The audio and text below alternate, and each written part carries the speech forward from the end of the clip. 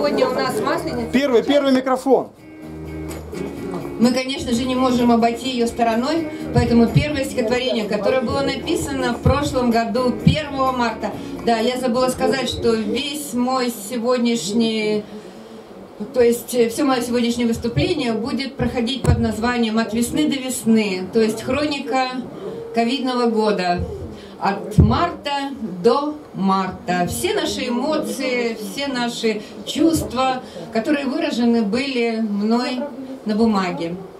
Проснулась. В прошлом году, кстати, прощенное воскресенье было 1 марта. Сегодня оно опоздало на две недели. Но тем не менее, проснулась.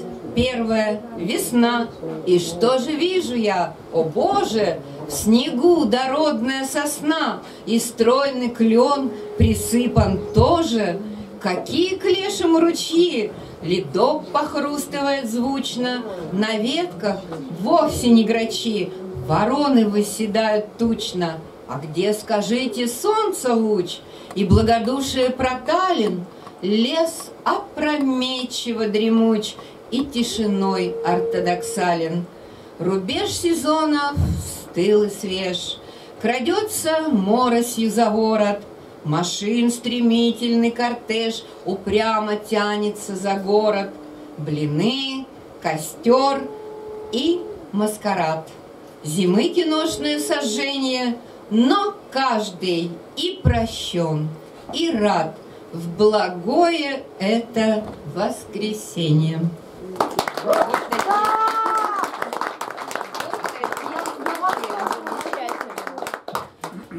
Да, к сожалению, так случилось, что наша вполне налаженная, катившаяся по рельсам счастливая жизнь была в прошлом году нарушена этим проклятым, можно сказать, ковидом.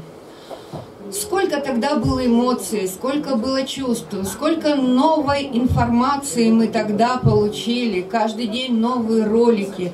Мы начали задавать себе новые вопросы, может даже не новые, а старые, наверное, наоборот, вопросы. Что, где, когда, кто, зачем, почему, что делать и так далее. Да. Вот. Эта информация нас повергала то как бы в печали, грусть, то немножечко поднимала более-менее положительное. Мы с трудом разбирались в том, что вдруг внезапно начало происходить в нашем обществе. Ну а так как мы все с вами, в принципе, патриоты, потому что первое достоинство цивилизованного человека – это, конечно же, любовь к родине. Мы очень все это переживали тяжело и по отношению к самим себе, и по отношению к стране, которую мы так любим и которую вдруг неожиданно решили опустить. А рана, нанесенная Родине, естественно, переживается людьми в глубине своего сердца. Но даже еще, может быть, чуть-чуть время до ковида, мы уже немножечко понимали, что что-то где-то, но все-таки идет у нас не так. И вот однажды, встретив в интернете стихотворение Ибн Илиса, оно начиналось строчками в просторном тереме природы, я написала следующее. В просторном тереме природы уже давно такой бардак, что и готические своды, не своды, так себе чердак – мы не хозяева, не гости, Бредем по закоулкам дней, На нас давно играют в кости При свете алчущих огней. Да, будет, может быть, награда, Но лучше все же, чтобы в срок. Ну а пока перо, бумага и сердце, Божий уголок.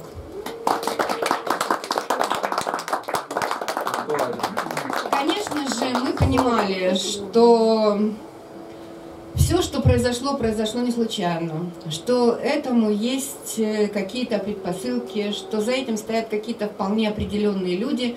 И поэтому первое мое стихотворение было обличительным, естественно, и даже не знаю, как это сказать, Ну, короче, взяла я эпиграфом слова Высоцкого. Вы там добалуетесь и доизвлекаетесь. И стихотворение называлось «Всем, кто причастен». Как надо было растерять и благочестие, и разум, чтоб бесконечно воевать со всем прекрасным миром сразу. Ну что вам сделали грачи? Они безвредные, поверьте. Зачем вы ищете ключи от всех дверей, ведущих к смерти?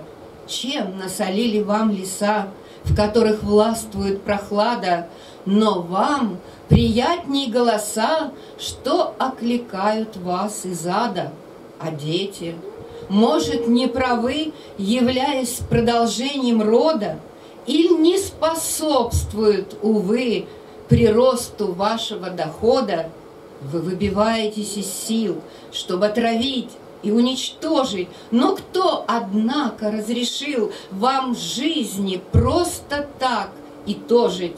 Зачем, скажите? Почему вы убиваете планету? Мы предъявляем вам вину и призываем вас к ответу.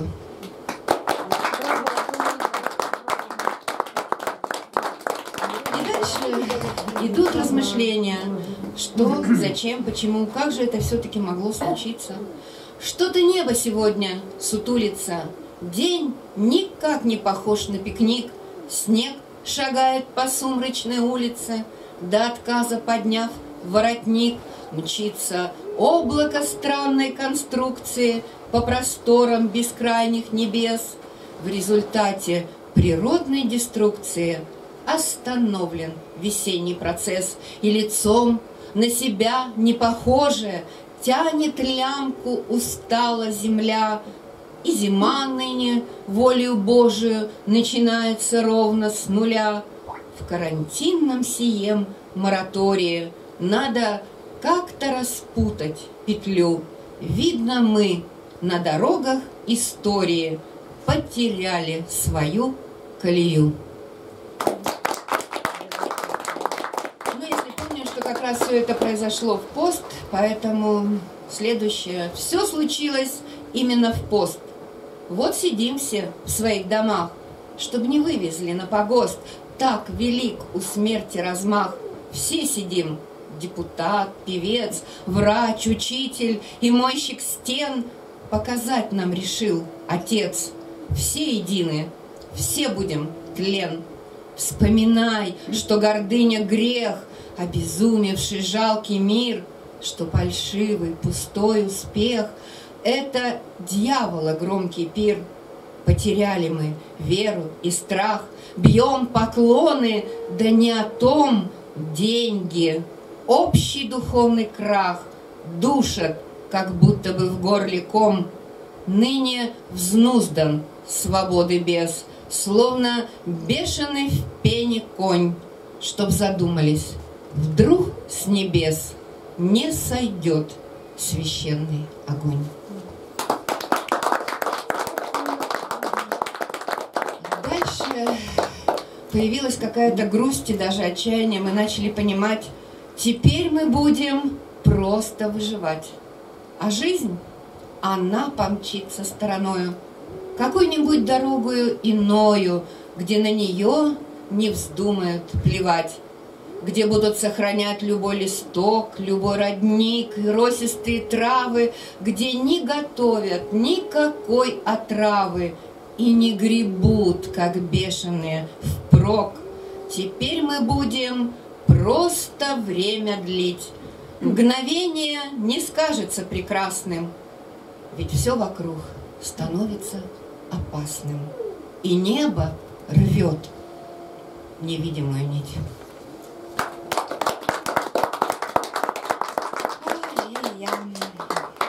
Потом стало как бы ясно, очевидно, что мы на пороге, на пороге тумана и тьмы, наши души в глубокой тревоге и в отчаянии наши умы. Очевидно, нас косит зараза, и частенько редеют ряды. Нас теперь убивают не сразу, а путем зараженной среды. Но кому-то же все это нужно. Но ведь кто-то же выстроил план.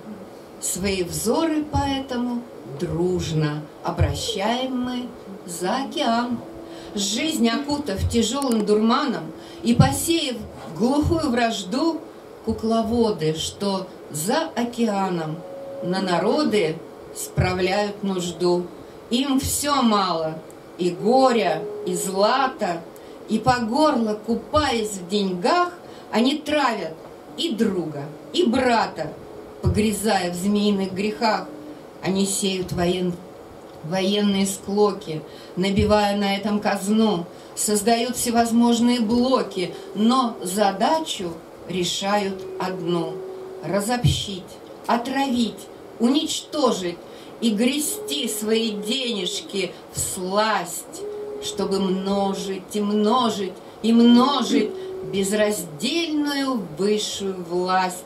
Ну а те, кто им продал душонку, будь то спикер или важный сенсей, ясно даже любому ребенку наплевали давно на людей. Этот сговор безмерно порочен – им никак не насытиться впрок, должен очень суров быть и точен. Им единожды данный урок.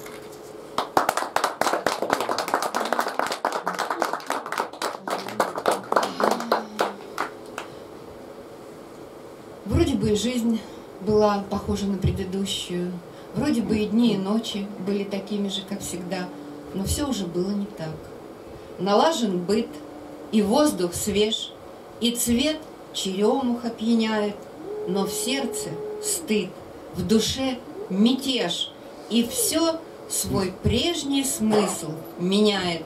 И день как день, и ночь как ночь на предыдущие похожа, но жизнь, как тень, несется прочь, все наше прошлое и тоже, и разум стыл, и слог в тисках звучит, как выцветшая нота, и свет не мил, а на висках кровь проступает вместо пота.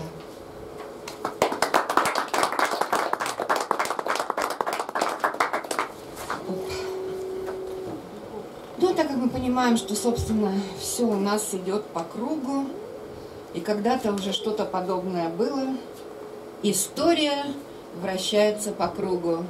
И время льется, как вода из крана, а наша жизнь, что так привыкла к цугу, несется вскачь по воле атамана. Уже весна почти что на пороге, готовые песни буйные, капели, но как в плохом, нескладном эпилоге надежды и мечты прибились к меле. И у ольхи едва курчавит крона, И солнце, как фонарь с подбитым глазом, Угрюмый ветер в роли Цицерона Вещает бурю всей планете разом.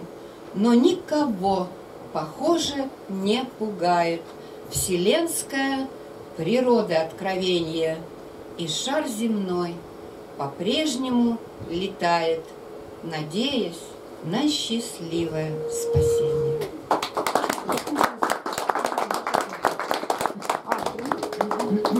Да, ну осталось совсем немного.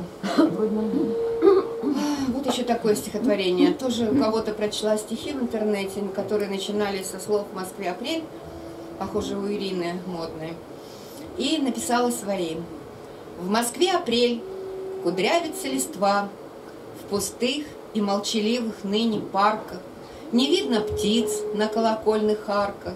Весна в права вступает очень валка, Спустя, как говорится, рукава. В Москве апрель. Но что греха таить? Когда такое, в принципе, бывало?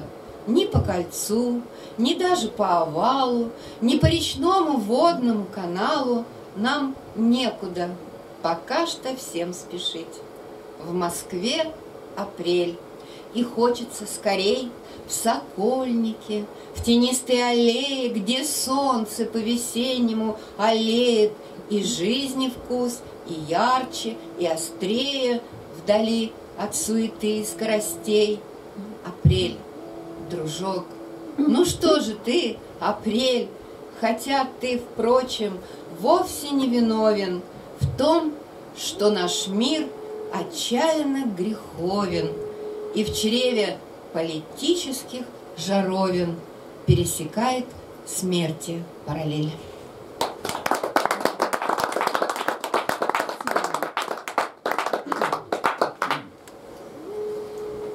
Ну вот, у неба слезы на глазах, того гляди и дождь прольется.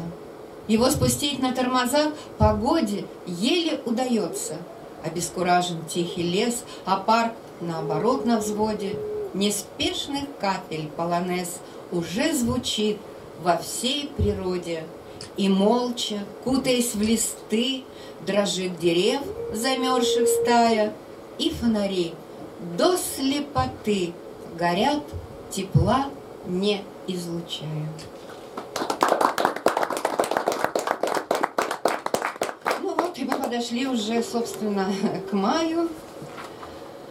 Уходит май, смывая все следы, как будто бы приносит извинения за то, что в нашей жизни не лады, что жизнь саму хотят придать забвению, смывает свет в разросшихся садах и прорицает призрачное лето, вселяя в наши души легкий страх и полное отсутствие ответа лишь на один трепещущий вопрос – надежды или долгие печали? Воскреснем или все пойдет в разнос? Все то, чем души пылкие дышали. Какая невесенняя тоска! Молчит природа, словно бы в отказе, И только дождь пронзает облака В глубоком, необузданном экстазе.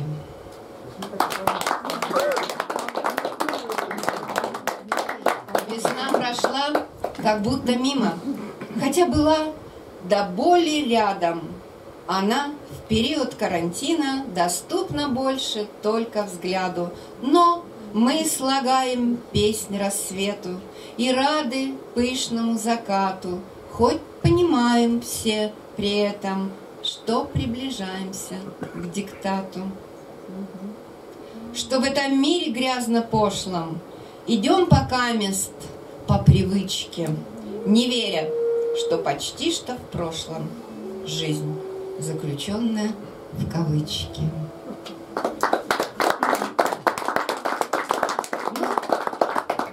Ну, не хотите сейчас спеть? Хорошо, в конце лета. Ну и дальше у нас как бы мы подошли уже, и я написала следующее. Но в связи со всем, что происходило весной, уповаю на лето и прохладу реки, на березы палеты, на весомость строки, уповаю на разум и друзей, и врагов, на прощение разом и обиты долгов, уповаю на вечность и загадочный рок, на любви бесконечность, что дарует нам Бог. Ну вот, первый блок закончился. Кто хочет спеть? Друзья, Татьяна Гордиенко, давайте.